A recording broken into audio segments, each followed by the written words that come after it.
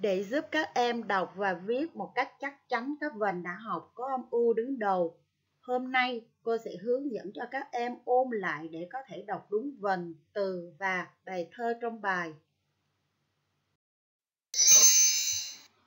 Đố con tranh vẽ gì? À, đó là cây vạn tuế. Trong từ cây vạn tuế có tiếng tuế mang vần uê. Vần uê được ghép từ hai âm, âm u và e. U, e, e. Con nhắc lại. Tranh thứ hai, vẽ đàn chim én đan bay báo hiệu mùa xuân về. Từ mùa xuân có tiếng xuân mang vần uân từ âm u và vần ân ghép lại ta có vần uân u ân uân con nhắc lại. Chúng ta đọc lại hai vần trên. Uê uân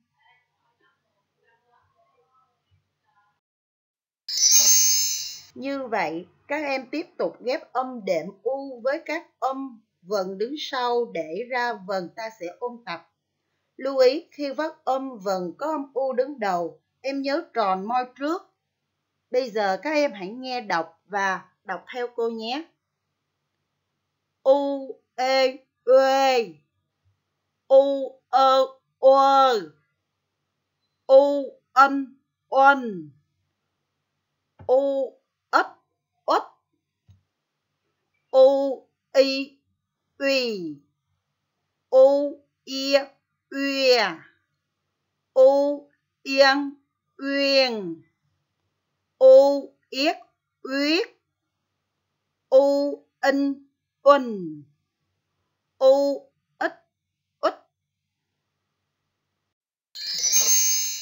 các em đọc tiếp từ ứng dụng. Ủy ban. Ủy ban là cơ quan của nhà nước, nơi để người dân đến chứng giấy tờ. Hòa thuận. Hòa thuận là êm ấm, không có mâu thuẫn hay xích mích giữa các thành viên trong gia đình. Luyện tập Luyện tập là ôm lại, tập làm lại những bài đã học để giúp các em thành thạo. Bây giờ các em hãy đọc lại ba từ trên ủy ban hòa thuận luyện tập bây giờ các em hãy đọc thầm lại, gạch chân những chữ có chứa vần mình vừa ôm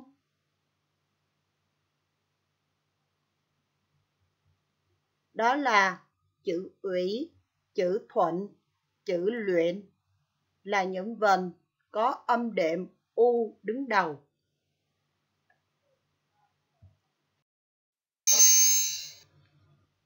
Các con đã nhớ và đọc đúng các vần, các từ trong bài ôn. Bây giờ cô sẽ dạy cho các em luyện đọc bài thơ. Qua sát tranh, chúng ta thấy cảnh mọi người đang cố gắng hết sức kéo lưới đầy cá leo trên khoang thuyền. Chú ý, khi đọc bài thơ, các em nhớ đọc liền tiếng trong một câu hết một câu là phải nghỉ hơi bây giờ các em hãy chú ý lắng nghe cô đọc nha sóng nâng thuyền lao hối hả lưới tung tròn khoang đầy cá gió lên rồi cánh buồm ơi các em hãy đọc thầm dùng thước gạch chân những chữ có mang vần vừa ôm. Đó là chữ gì nè? À đúng rồi, đó là chữ thuyền. Chữ thuyền mang vần uyên có âm đệm là u đứng đầu. Các em hãy đọc lại nhiều lần cho thuộc bài thơ này nhé.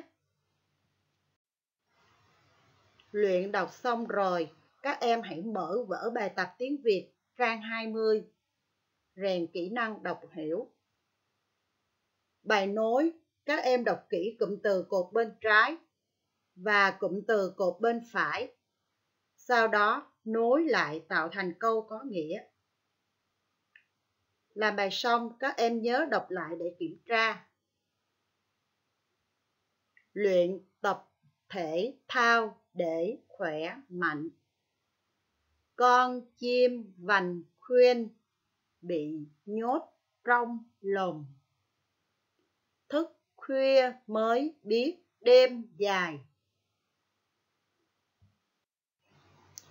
Bài tập tiếp theo, các con sẽ điền ủy hay khuân truyền vào chỗ trống thích hợp. Các con quan sát chú ý lắng nghe cô đọc để điền chữ cho chính xác nhé. Công nhân khuân vác sợi dây chuyền văn phòng ủy ban tiếp theo, các con sẽ luyện viết theo mẫu. Các em quan sát thật kỹ chữ mẫu. Ủy, ban, khuyên, nhủ. Rồi viết theo cho đúng độ cao, độ rộng các con chữ. Và chú ý khoảng cách giữa hai chữ trong mật từ. Cô vừa dạy xong tiết 1 phần luyện đọc bài ôn tập 103. Cô chúc quý ba mẹ và các em học sinh nhiều sức khỏe. Hẹn các em vào tiết học sau. Thân ái chào các em.